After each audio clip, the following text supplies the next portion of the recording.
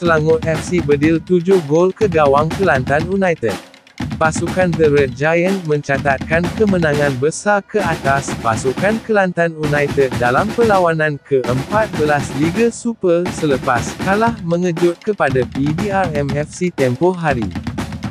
Seawal minit keempat, Selangor sudah membuka tirai jaringan menerusi Mujairi Ajmal. Penyerang berbisa Selangor Iron Delbel menambah duka Kelantan menjaringkan gol kedua Selangor menerusi tandukan padu. Pemain sayap lincah Selangor, Faisal Halim menambah jaringan ketiga Selangor dan Iron Delville melengkapkan gol keempat Selangor sebelum whistle penamat separuh masa pertama. Bersambung di separuh masa kedua, giliran Yohandri Orozco menambah jaringan kelima Selangor.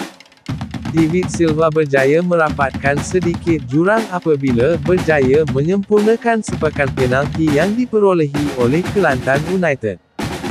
Izwan Yuslan kembali meneruskan rentak jaringan Selangor menjadikan kedudukan 7-1.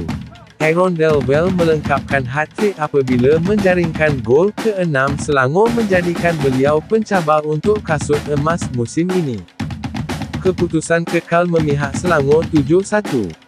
Jika anda suka info-info yang diberikan dalam channel ini, bantu saya dengan menekan butang subscribe dan butang loceng untuk mendapat notifikasi terbaru dalam channel ini. Assalamualaikum, terima kasih, jumpa lagi.